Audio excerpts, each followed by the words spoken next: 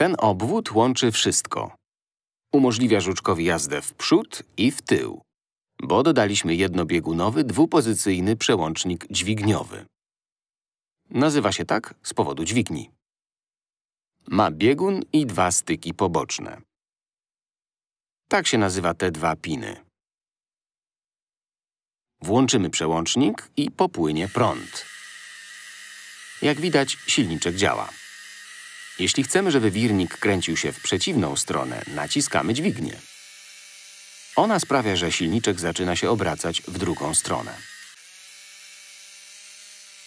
Przełącznik rozwiera obwód z czerwonym przewodem dodatnim i zwiera z czarnym, ujemnym. Dlatego prąd biegnie w drugą stronę.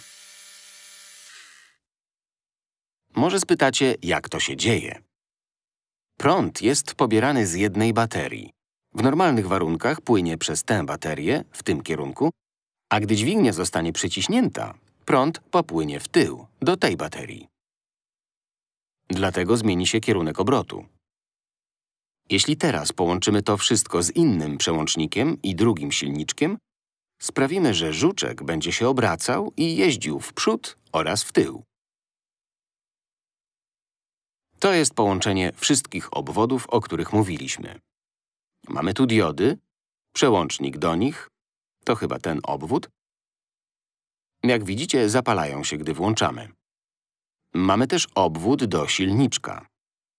Tu są dwa jednobiegunowe, dwupozycyjne przełączniki dźwigniowe. Znowu widać, jak wyglądają w środku. Przedłużyliśmy przełączniki spinaczami do papieru. Przykleiliśmy spinacze do końców.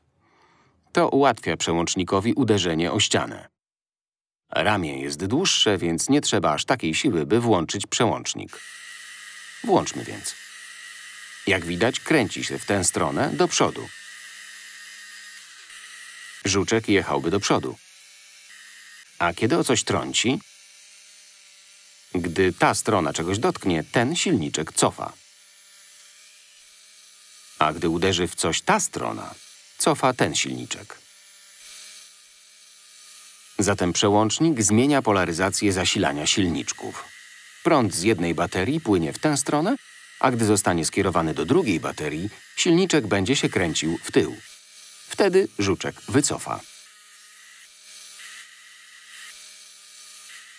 Jeśli uderzone zostaną oba czułki, to oba silniczki zmienią kierunek.